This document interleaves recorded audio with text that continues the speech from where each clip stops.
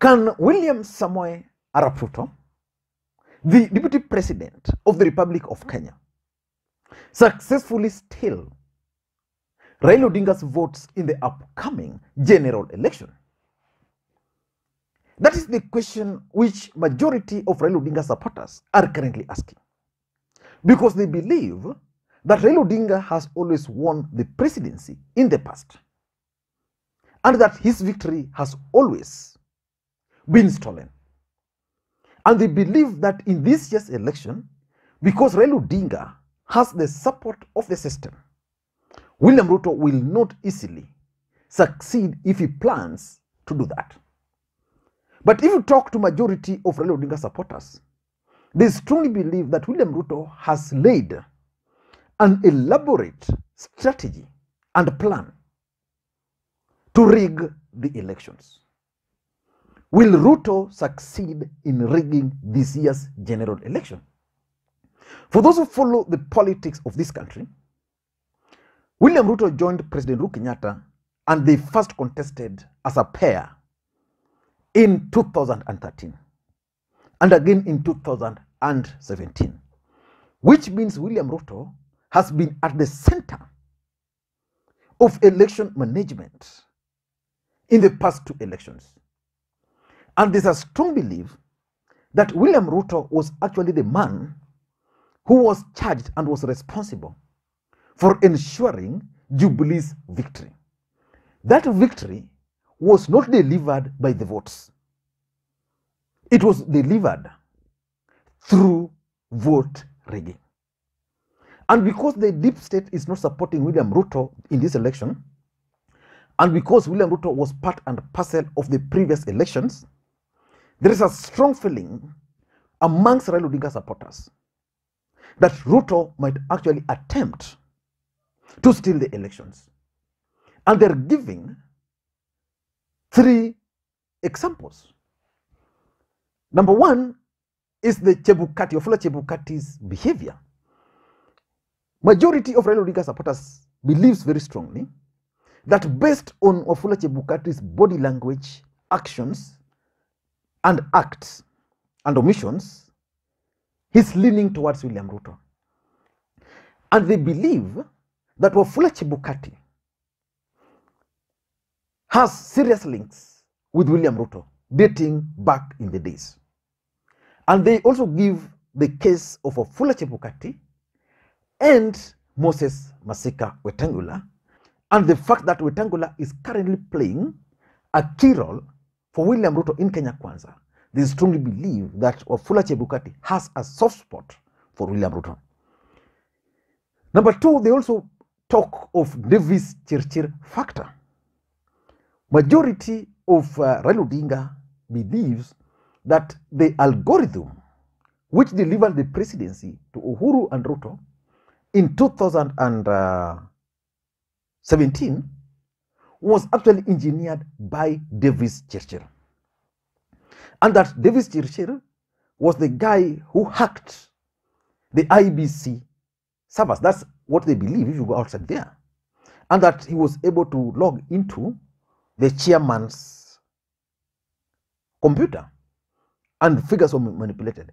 And, and Davis Chirchir, having served as a, as a commissioner with IEBC, means he understands the operations of IEBC. In this election, he's going to play a key role for William Ruto.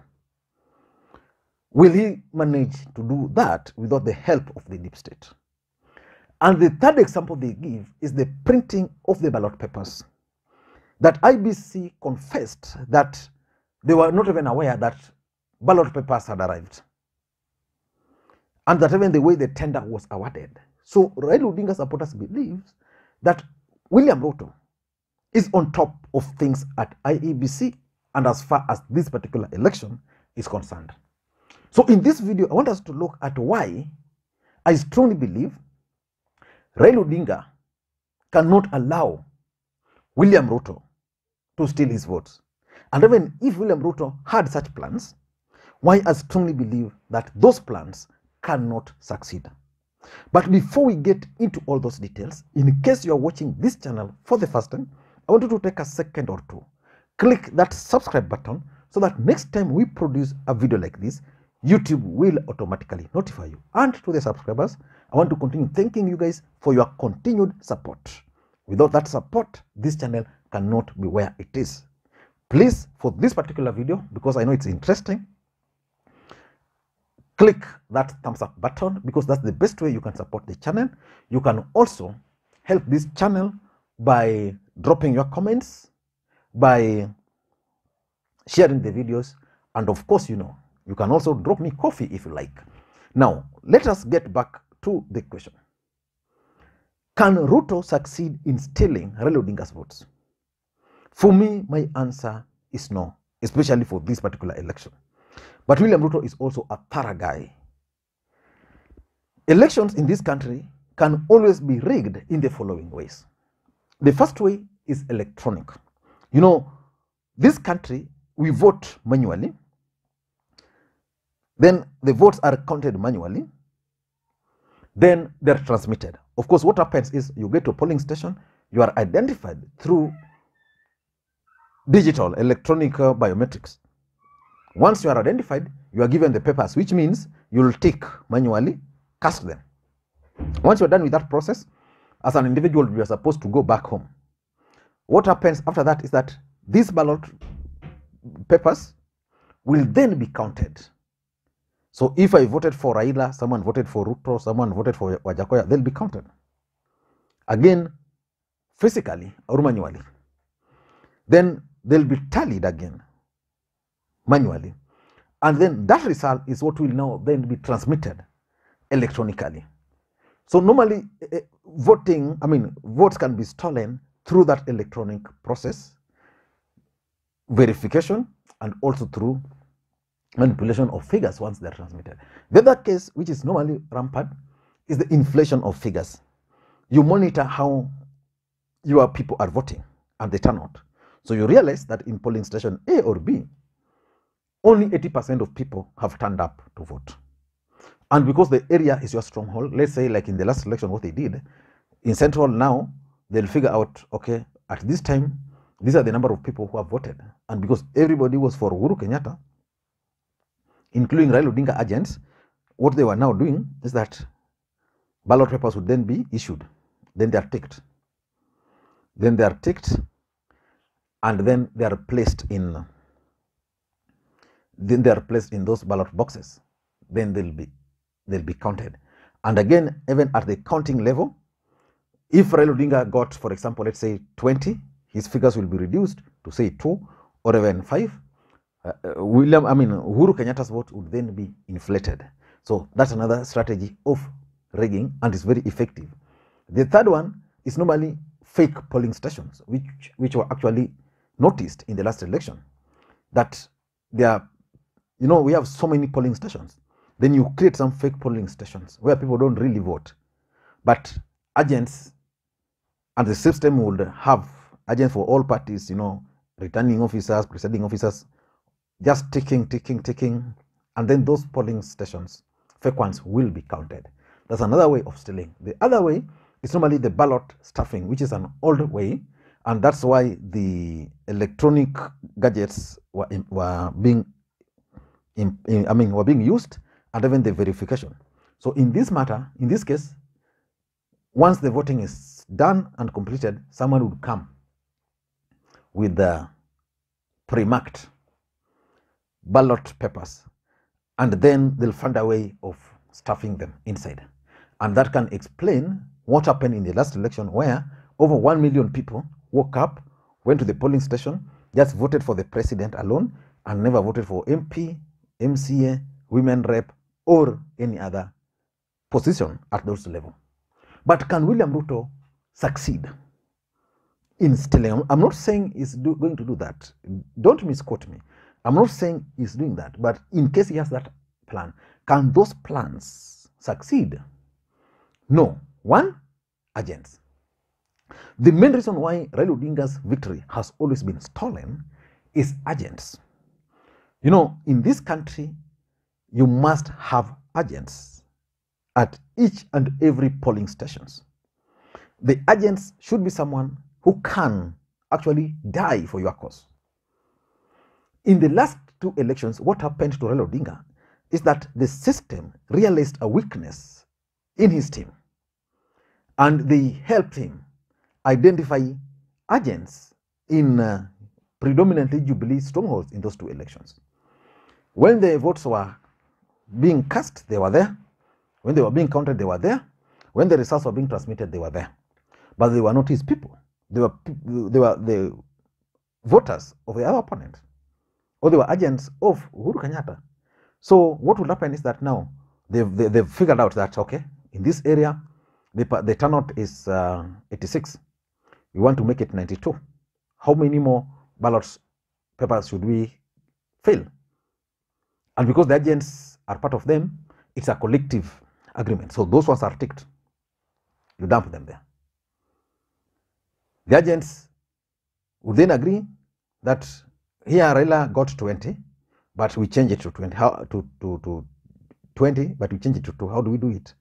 So they'll sign the figures which are counted. In this election, Raila Odinga will be lucky to have agents all over the country. These agents will be out to protect his votes. I don't think Ruto will have the capacity to hire his own agents and to hire agents to interfere with Raila Odinga's votes. Because of that, I strongly believe that nobody is going to steal Raila Odinga's votes. If Raila Odinga will lose this election, he will lose it because he lost it, but not because Ruto stole it. So the agents is one of the main thing. And again, even paying the agents, that will, like for example, that will be done by various players. For example, Raila can say, in Murang'a, where Mwangi wa Iria is the governor, wants to be the cabinet secretary in my government, please take charge. Okay? Uhuru Kenyatta can use the deep state, the- those same same agents, the, the NIS who managed the elections, who are Raila Odinga's agents in the last election. They can be made to be Raila Odinga's agents. So that's number one. Number two, the deep state. You know, there are certain things you can only do and effectively if you have the support of the deep state. But there are certain things you cannot do without the support of the deep state. You try to do, you are caught. You know, in the last election, Jubilee, for example, was was able to to announce results from fake polling stations because they were part of the deep state. Odinga's figures were deflated because they were part of the deep state. Now, there's no way without the deep state you will attempt this thing without the deep state support, and the deep state will not know. They will know, and they will wait for you, and you'll be in trouble. So I don't think that Ruto is going to succeed. He would have succeeded easily, and that's that's why Ruto is better. He would have easily succeeded, but he doesn't have the support of the system. So the system will monitor and thwart, monitor and thwart, monitor and thwart, and maybe just let the two gentlemen to square it out so that whoever wins will win. Number three, in my view, is the preemptive preemptive measures. Raila Odinga understands that this election is a matter of life and death for him. Uhuru Kenyatta understands same. And they know, for example, what Ruto is capable, capable of doing. So now they are taking preemptive measures.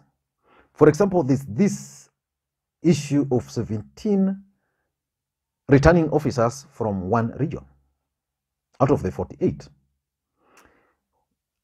And now they're taking preemptive measures so that when IEBC will be now announcing the constituency returning officers, they'll be careful because they've already been caught there. And these guys will now be very keen on ensuring that the people who will manage elections at the constituency level are not William Ruto's people. You talk of the ballot printing. Now the agencies are out watching which ballot boxes are going to come from uh, Uganda, or are they all going to be somewhere here, just in Kenya, from Mombasa? So the preemptive measures will not allow the rigging to take place. And lastly, I think Wafula Chebukati himself understands that Raila Odinga and his brigades don't like him because they believe he'll he'll rig Raila Odinga out. And because of that, Wafula Chebukati would also not want a situation where these guys will blame him again. I don't think he will be able to play balls the way he did in the last election. I don't know what to think, but for me, I strongly believe that there is no way William Ruto will succeed in his attempts to rig the 2022 general election. It's not going to be easy for him. The only hope and prayer I have is that let us have a peaceful election where, as a Kenyan, you go, you count, you cast your vote, it's counted, it's announced, and finally the results will count. Thank you, guys, and please may you have a good day. Bye bye.